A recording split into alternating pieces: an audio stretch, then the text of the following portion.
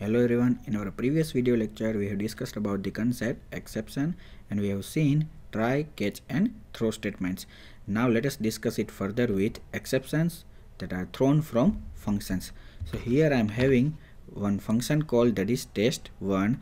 I want to monitor this code so I am writing this code inside try block.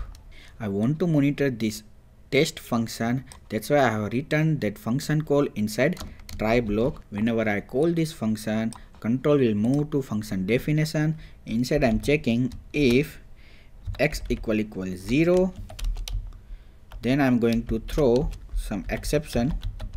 Let's say x else. I'm displaying one message no exception over here so whenever I call this function, control will move to function definition. Inside that we are checking the value of x. If it is 0 then we are going to throw exception. Whenever exception is thrown, we need to catch it. So let us write catch block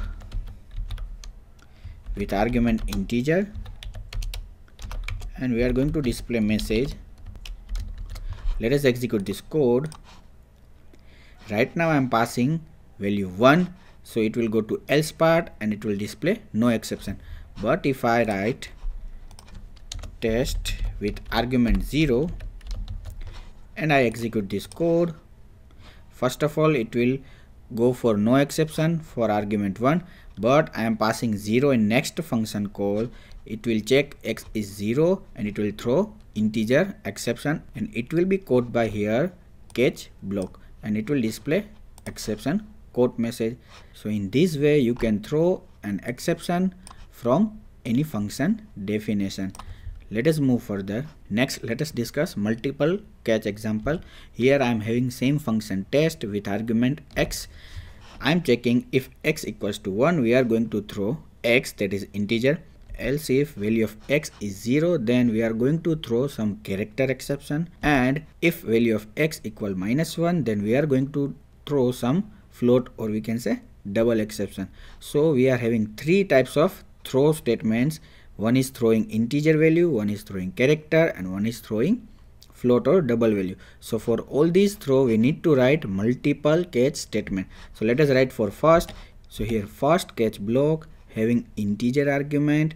It will handle the code whenever integer exception is thrown. Now next catch is for character argument. If character exception is thrown it will handle the code for that. And third catch is having double argument and it will handle the code when any double value is thrown. So in main if i call test function with integer argument that is 1 it will throw integer exception it will be caught over here and it will display quote an integer. Next i'm calling test function with argument 0 and if it is 0 it will throw some character exception and it will be caught over here and it will display quote a character. Next i'm calling test with argument minus 1 and it will throw double exception over here and it will quote over here and display quote a double value. Thank you